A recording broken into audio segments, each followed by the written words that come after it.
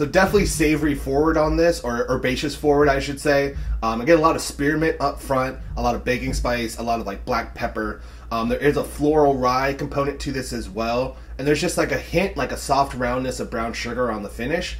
Um, but yeah, definitely more of this is a rye drinker's rye. There's a lot of those nice kind of what I like to call secondary rye notes to it. Uh, you know, like I said, the spearmint and the peppery kind of characteristics. So it's not just your straight like, oh, this just tastes like rye. Uh, while there are some floral rye notes to it, it definitely is a back seat compared to some of the other more herbal flavors that are in this. Yeah, if you are a fan of rye whiskey, this is definitely one you would enjoy. Uh, it just has a nice kind of softness on the back end because that little bit of brown sugar, but definitely is very spice friendly.